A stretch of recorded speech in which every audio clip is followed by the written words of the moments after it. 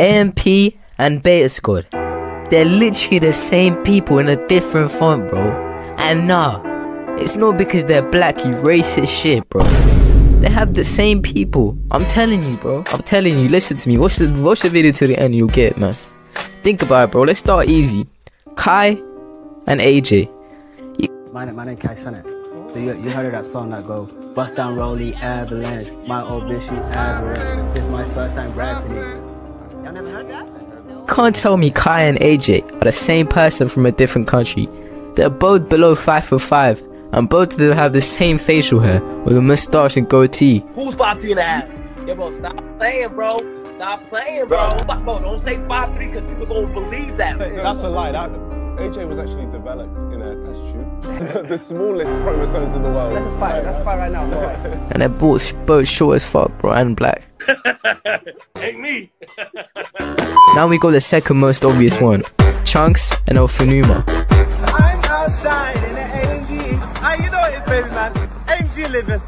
I want to say thank you to everyone. I love you. God, dude. Well, first of all, they're both fat as fuck, bro, morbidly obese, but they also have other similarities. They eat a lot of food, bro. They just keep munching and munching and bellies expanding, homeostasis taking place, and now they look the same. Do me a favor. Shut the fuck up.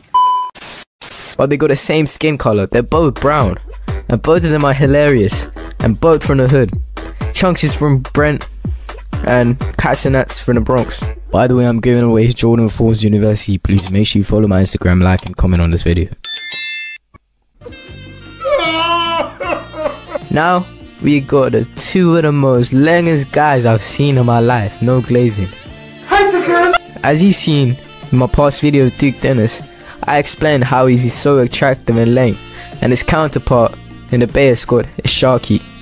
Yeah, Sharky is a little bit zesty, and Duke is not, but it makes sense, bro. Now, today. That's it. Now we got Davis and Kenny. First of all, they both get bullied by their friends. Damn. I ain't even I ain't even I ain't even say no shit, bro. Niggas always trying to look for an easy target. I'm saying I'm done being that, bro.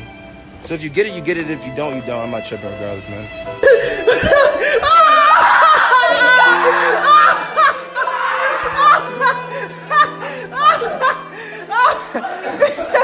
Both disabled. They're both clumsy as well, bro. Here's the evidence. In your own house, you dumbass bitch. Man, it's already ruined. This your own crib. This is my street now. Move. But why, yo, nigga, if you don't get this nigga out of my chair, Dumbass nigga. Dumbass nigga. Ugly and chopped. Alright, this is my street now, bro. And finally, the smartest people in the group, Niko and Agent. Niko and Agent are the biggest neeks I've seen in my life, but they're both funny at the same time. Niko and Agent are also both light skinned and both of them are from Africa. And Niko gets no puss, and so does Agent. It just makes sense, bro. Because it just makes sense. It just makes sense.